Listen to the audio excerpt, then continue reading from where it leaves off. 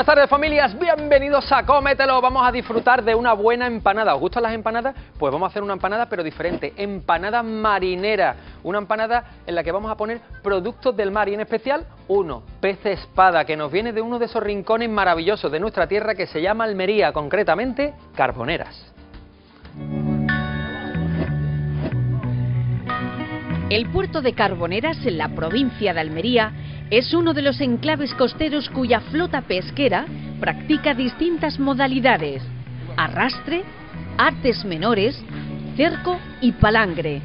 Hoy nos contarán los palangreros de Carboneras todo lo que saben acerca de nuestro protagonista, el pez espada. Soy Simón Pérez, trabajo en la Asociación de Productores y la Cofradía de Pescadores, soy gerente. El pez espada eh, se pesca normalmente desde julio hasta el mes de enero, se captura con palangre de superficie, ya es una pesca centenaria y es fundamental para la economía del pueblo. El pez espada, Siphias gladius, es un pez marino de gran tamaño que si bien habita en todos los océanos, tiene especial preferencia por las templadas aguas del mar Mediterráneo. Cuando van a la pesca, la jarcia la echan calando, van navegando a un rumbo, normalmente al sur-sureste o sur-suroeste, y dura unos 2 o 3 horas de la calada. Luego la dejan al día y dependiendo del tiempo, de las campañas, la pesquería, cómo está, etcétera, etcétera, la recogen al, al día siguiente. El pez espada posee un cuerpo de gran tamaño, alargado y algo comprimido en los lados. Se trata de ejemplares cuyo peso ronda los 110 kilos de peso, que se alimentan de grandes moluscos y diferentes tipos de peces menores. El pez espada, yo creo uno de los peces que más nos llama la atención cuando somos niños, porque son fáciles de identificar, es el primer pez que tiene como una espada, como un sable, que cuidado, que no es que tenga muchas veces se piensa que tiene la boca y después tiene... No, no, no. Lo que tiene es la mandíbula de arriba, lo que es la parte de arriba de su boca, es la prolongación que al final la usa para defender y también a veces para cazar. ¡Pum! Le da un golpecito, lo vuelve a los pescados que se ha quedado y le pega el bocado. Nosotros le damos el bocado a los ingredientes y empezamos.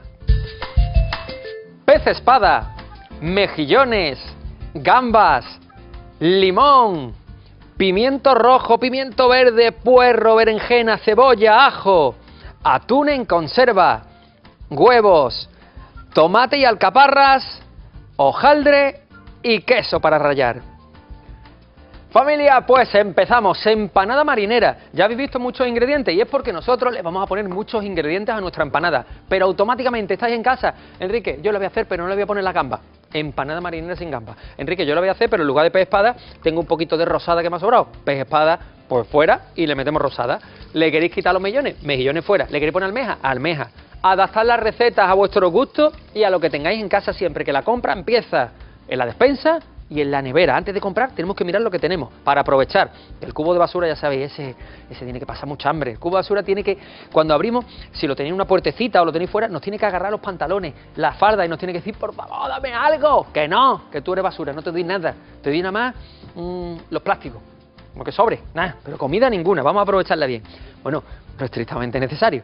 Eh, empezamos, capotazo, lo primero que vamos a preparar, mirad, como lo vamos a hacer con mejillones, podéis partir de mejillones ya cocidos o podéis cocerlos, que son muy fáciles de cocer. Además es un aperitivo maravilloso, unos buenos mejillones, bueno, eso está riquísimo. Cogemos, mirad, los mejillones los vamos a poner en un cacito. Si tuvieran muchas barbas se las tenéis que quitar, pero se las quitaréis justo en el momento en que lo vais a utilizar. No le quitéis las barbas a los mejillones cuando las compráis, porque entonces van soltando por ahí jugo y se van muriendo. Haceros una idea, voy a vuestra casa, nada más llegar, me cogéis la barba, ¡fly! me le quedáis. ¿Eh? ¿Qué pasa? No estoy a gusto. Pues lo mismo, los mejillones los dejamos gustito con la barba. Cogemos los mejillones, le voy a poner un limón exprimido y no le pongo nada más. Con un limón tenemos suficiente, no voy a poner ni agua ni nada. Cogemos aquí, vamos a cortar y le ponemos jugo de limón. En los ingredientes también hemos visto huevos, tres huevos. De esos tres huevos, dos vamos a cocerlos, los pondremos cocidos dentro de la empanada y el huevo que falta lo utilizaremos para pintar el hojaldre, una vez que tengamos la empanada hecha. Las empanadas, en alguna ocasión, hemos hecho aquí empanadas, hemos hecho nosotros la masa, pero hoy digo una receta fácil, sencilla, rápida, que la hagáis en casa, con hojaldre, pues tranquilamente que podemos comprar en cualquier tienda o supermercado, donde queráis. Le damos temperatura fuerte temperatura arriba alta y tapo.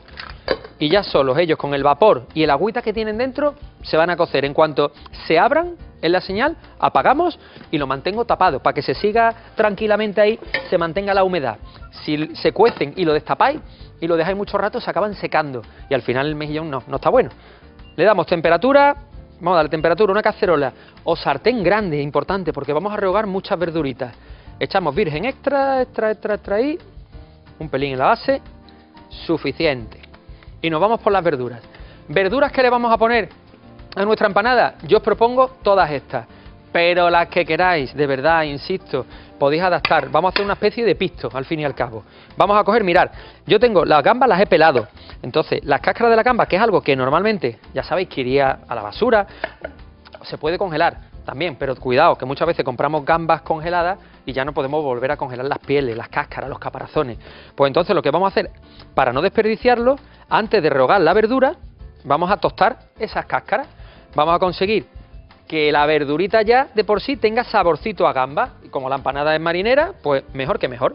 Cogemos. A ver, voy a dejar que se caliente un poquito más. Mirad, ¿cómo pico la cebolla? Le damos unos cortes así, en dados. Toda la verdura que vamos a, a picar la vamos a picar en dados. Aproximadamente como estos.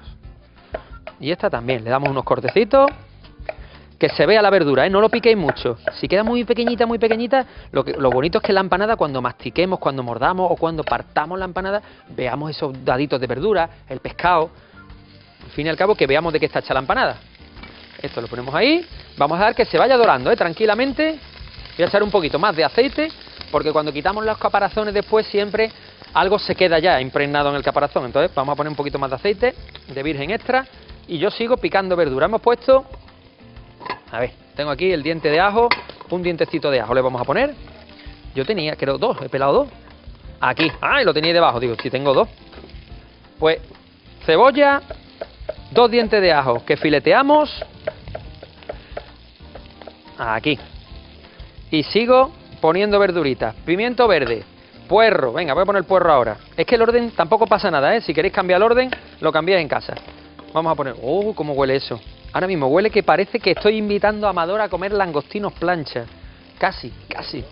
Mirad, dos cosas que os quiero decir, porque estamos haciendo varias cosas a la vez. Tenemos tablas y mirad los mejillones. Abiertos. Listo. Apago fuego y lo dejo aquí tapado, ¿eh? Con el fuego apagado. Y las cáscaras o caparazones o cabezas de nuestras gambas nos están dejando saborcitos, ya se han tostado, se han dorado, pues vamos a ir apartando con mucho cuidado. Vamos apretando. Esto ya no lo vamos a utilizar, lo podíamos utilizar si queréis para hacer una sopa, una crema de marisco, se puede usar. Pero nosotros, la función que cumplían hoy, ya está. Que es ese aceite que queda, que tenga sabor.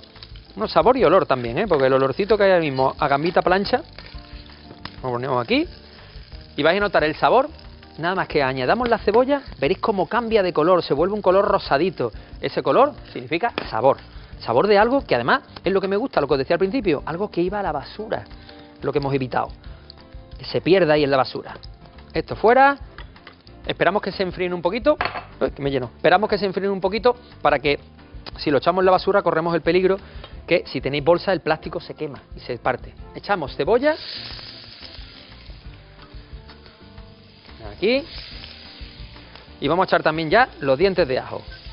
Dientitos de ajo por ahí. Y ahora mirad lo que pasa. Mezclo, mira. Mira qué colorcito coge automáticamente la cebolla. Ese color se llama gambita. ¡Ole! Como Amador cuando era jovencito. El gambita. Hoy me ha dado los ojos la cebolla.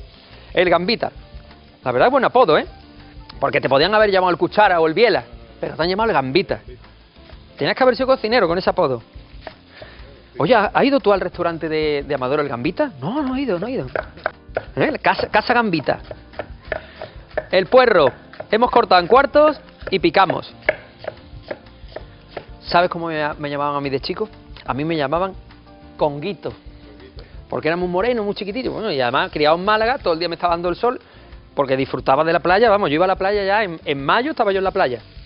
Era de las pocas personas, yo creo, en este planeta que cuando llegaba el mes de julio y agosto me iba siempre a casa de mis abuelos que, que vivían en la montaña y me quitaba de la playa. Estaba en la playa todo el verano Bueno, hasta que ya empezó la época ya del instituto, que ya jugamos al voleibol, te echaba la novia, estas cosas y tal, pues no te podías ir, claro.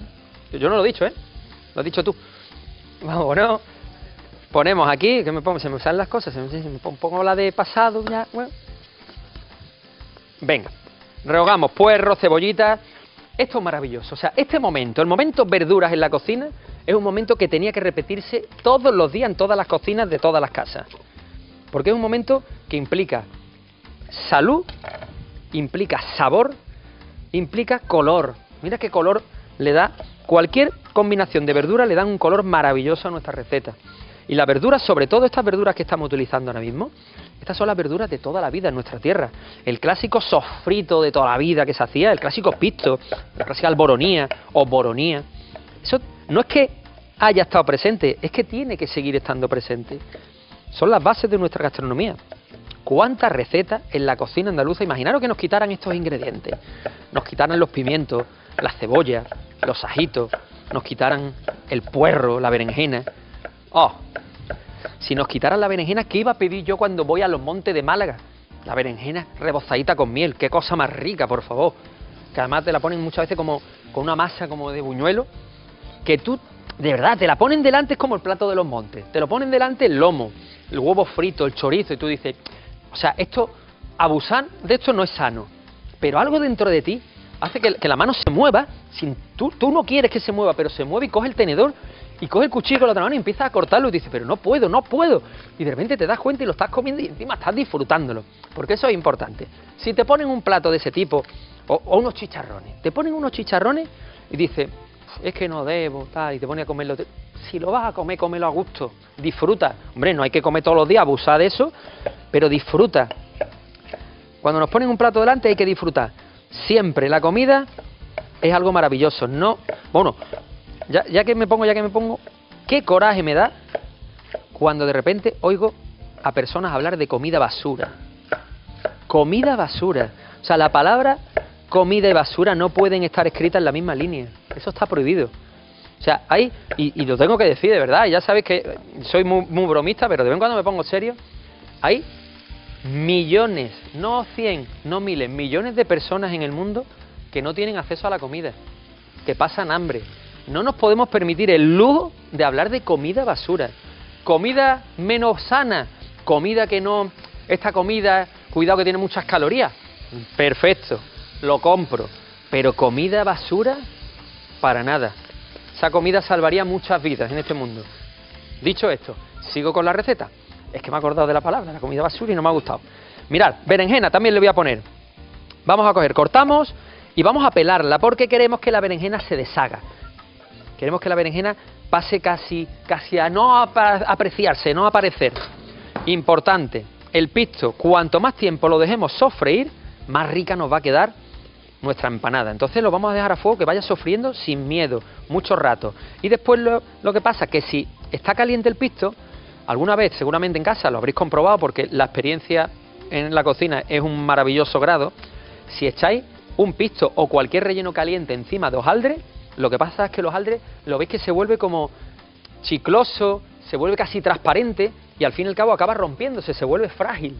Y eso es porque los hojaldre, una parte grande o importante de su composición, es grasa. La grasa con el calor se vuelve líquida.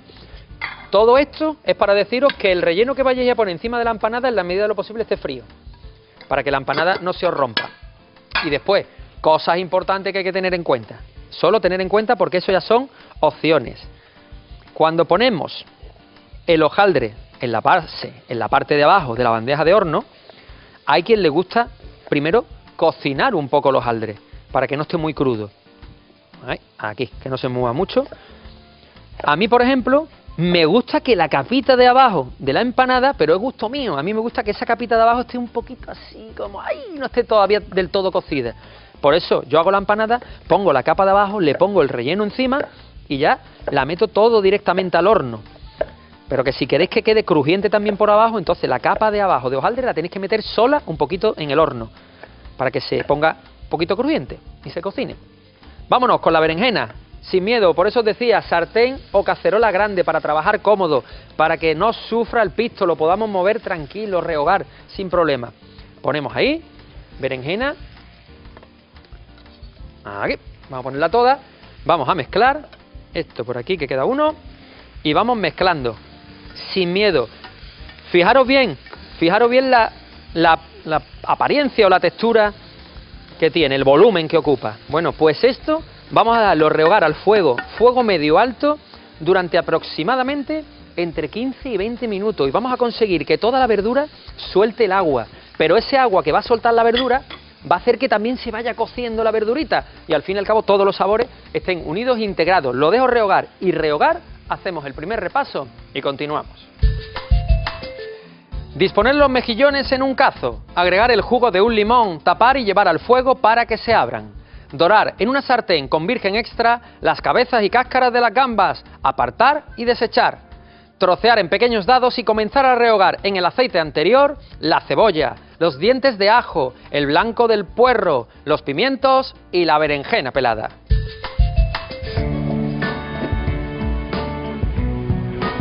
Seguimos en el puerto pesquero de Carboneras, en la provincia de Almería, donde estamos conociendo los secretos de la pesca del pez espada, gracias a los conocimientos de los propios pescadores. Soy Pedro, soy pescador de pez espada. A principio de temporada se, pillan los, ejemplares más grandes, que eh, suele ser de mayo hasta julio, mediados de julio, suele ser la- las piezas más grandes. Esta temporada el más grande que se ha cogido habrá pesado sobre los 220, 230 kilos. El pez espada es un pescado semigraso y si bien su contenido en proteínas no es muy elevado, estas son consideradas de alto valor biológico porque incluyen todos los aminoácidos esenciales. Entre las vitaminas destacan las del grupo B y entre sus minerales cabe destacar que el pez espada es el más rico en fósforo y magnesio. La mayor flota de modalidad de palangre superficie, de, pesca de pez espada y atún rojo, está aquí en la provincia de Almería y en particular en el puerto de Carbonera. Aquí es centenaria, todos descendemos de, de- somos hijos de pescadores. Sin duda los palangreros de Carboneras nos han dado una lección de buena pesca y de mejor pescado, ya que el pez espada es un alimento sabroso, sano, natural y de nuestras costas. Sano, sabroso, natural de nuestras costas. ¿Qué más se puede pedir? Bueno, que vamos a seguir haciendo la receta, que es lo importante. Mirad, os decía, tres huevos. Uno lo vamos a usar para pintar el hojaldre y los otros dos los he cocido, 12 minutos en agua. La yema, ¿veis? Queda en su punto con esos 12 minutos y lo picamos pero un poco solo. No hace falta picar mucho el huevo. Le damos unos cortecitos así y listo. Y ahora, mirar cómo queda el pisto. Este es toda la verdura que teníamos en la cacerola, se os queda de, esta, de este volumen, se os queda nada. Por eso lo avisaba. Digo, no os preocupéis, que parece mucha verdura, pero que después se quedan poquita cosa. Que la berenjena se queda en nada, que, vamos, todo se queda. Ponemos el huevo, pongo el huevo aquí, ahora vamos a poner tomate frito, por supuesto, porque un pisto tiene que tener tomate, nosotros le vamos a poner tomate. Aproximadamente le ponemos como unas cuatro, con este mismo le voy a poner todo, le vamos a poner como unas cuatro cucharadas de tomate, que lo veis, más o menos todo lo que hay aquí, se lo ponemos. Le voy a poner dos latas de atún, dos latas de estas pequeñitas, cogemos aquí, lo he escurrido un poco, que vaya cayendo. Yo siempre mirar esto, ¿veis la tapadera esta que tiene? Que es peligrosa porque corta. Yo nunca la quito entera. Y la quito entera porque si la quito, después la echas en la basura y os podéis cortar. Entonces yo lo abro y ahora ya la dejo así dentro. Y de esa forma no nos cortamos. Es una forma de... el que tiene niño en casa, que tiene niño, que no me fío, no me fío. Hacemos lo mismo. Quitamos esta. Latita buena, buena fuera. Vamos a aprovechar bien. Ay, que aquí quede un poquito. Ahí. Ahí puesta. Esto lo tiramos. Y vámonos, que pongo también alcaparras. Generoso, ¿eh? Dos cucharadas, por ejemplo, de alcaparra. La alcaparra, no, a a todo el mundo le gusta, pero la alcaparra a la empanada le va a dar un toque fresquito. Vamos a estar comiendo y de repente el paladar se va a despertar. Mezclamos bien. No le pongo sal y pimienta todavía, ¿eh? No le ponemos, después se la pongo cuando tenga ya todos los ingredientes. Mezclamos. Bueno, esto nos vale para una empanada, para hacer empanadilla. Bueno, esto nos vale para cualquier cosa. Así que esto, encima de una tosta de pan, esto tiene que estar hasta bueno. Vamos a coger, limpio un poquito la tabla. Limpiamos tabla porque vamos a extender, como decía antes, normalmente hay quien tuesta o cocina un poquito la capa de abajo de la empanada. Yo particularmente me gusta que quede así un poquito como, no cruda, pero no del todo hecha, me gusta que quede esponjosita. A ver, tengo el horno precalentado a 190 grados, placa de horno, papel, la forma de la empanada, la que más os guste, podéis poner la empanada cuadrada si el hojaldre es cuadrado o la empanada redonda si el hojaldre es redondo. Os prometo que no sé cómo es el hojaldre. Lo tengo ahí enrolladito porque en cuanto lo desenrollamos por cualquier razón ya se empieza a secar, entonces no lo desenrollo hasta el momento final. Este papel que trae también nos vale para ponerlo en el horno, ¿eh? Que si queréis, bueno, vamos a hacerlo. Ya que... Y este me lo guardo para otro día. ¿Eh? Mira, Amador salió ganando. ¿Eh? ¿Eh? Mi papel, me lo guardo para otro día. Pues ya está. Y este, a ver, esto es redondo. Mira, hojaldre redondo, vale, perfecto. Pues ponemos el hojaldre redondo. ¿Veis que sobra por los lados? No pasa nada porque ahora cuando le pongamos el relleno vamos a tener que cerrar y se va a quedar un poquito más pequeñita. Ponemos aquí y vamos a extender nuestro relleno. Que quede bien de relleno, ¿eh? Esta va a ser una señora empanada. Buena pinta tiene ya y todavía está el hojaldre crudo, por favor. Aprovechamos. Aprovecho bien. Extiendo, pero no llego a los bordes, ¿eh? Siempre vamos a dejar los bordes para después poder cerrar la empanada. Aquí. Ea. Pues tal cual, mira. ¿Quién dice que no se enfosca? ¿Eh? Un poquito. Pues familia, lo tenemos extendido. Si os parece, en unos segundos regresamos y continuamos con la empanada.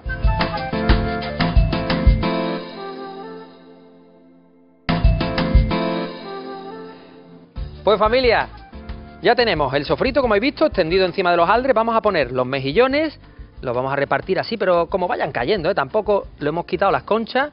Los mejillones están todavía un poquito tibios. Y tiene su porqué, recordáis, lo hemos dejado tapados. Vamos a poner así, no os preocupéis que ahora después vamos a aplastar. ¿Veis que no llego al borde justo? Los dejo más o menos cerquita, pero no llegan al borde para que de esa forma podamos cerrar después la empanada. Gambitas iguales, vamos a tirar la gamba. Vaya pedazo de empanada. Te voy a decir una cosa, ¿se puede hacer una empanada, familia? O automáticamente, como lo tenemos, lo metemos en el horno y hacemos una pizza dos aldres, prácticamente. O un calzone, lo cerramos, es verdad, también sería un calzone.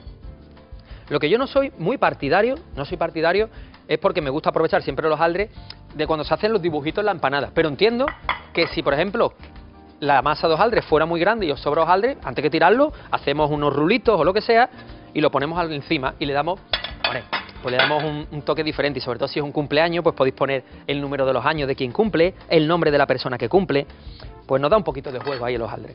Pez espada, que como lo vamos a poner también pequeñito para que se cueza con el tiempo de horno que va a estar la empanada. Va a estar unos 20 minutos, entre 20 y 25 minutos, pues no lo cortamos muy grande. Y claro, y podéis pensar, Enrique, pero ¿y qué pasa si el relleno se cuece mucho y se queda seco? No se va a quedar seco. Y ahora os voy a contar por qué no se va a quedar seco. Porque tengo yo ahí un paso que lo dejo al final porque es opcional, totalmente opcional. Yo no es que lo haga siempre, pero también os digo que alguna vez que lo he hecho el resultado es maravilloso. Y es que tengo ahí al ladito una cuña de queso. Y la hemos visto en ingredientes. Cuando tenemos la empanada terminada, es decir, con todo el relleno puesto, mirar qué pedazo de relleno, por favor. Cuando tenemos terminado el relleno le voy a poner sal, no le voy a poner pimienta, le podéis poner si queréis pimienta, pero no le voy a poner pimienta porque muchas veces ya sabéis que el pescado cuando pica, cuando está un poquito picante, se dice, ah, es que está malo, y no quiero que nadie lo pruebe después y diga, ah, que el pescado está malito. Pues no, le pongo sal, por encima no le había puesto sal a las verduras, ¿eh? Nada, es la primera sal que estoy poniendo. Ahí, ponemos bien de sal. Vamos a poner ese queso rallado que os decía, que nos va a dar jugosidad, nos va a dar un toque diferente, pero que es totalmente opcional. Rayamos quesito por encima. Y si alguna vez, oye, Enrique, pero el queso y el pescado, por supuesto, cuando pedimos una pizza marinera, ¿qué es lo que estamos comiendo? Pues prácticamente ingredientes de aquí, marisco, mejillones, nos ponen a veces atún. Hay quien le pone, por ejemplo, para, esta pizza también eh, palitos de cangrejo, lo que es el surimi este. También le va bien, lo que queráis, ¿eh? Ya está. Porque queremos que el queso dé jugosidad, no que sepa a queso. Y ahora vamos a trabajar cómodo. Yo me, cómodo, me voy a poner aquí. Vamos a coger otro hojaldre que nos hace falta.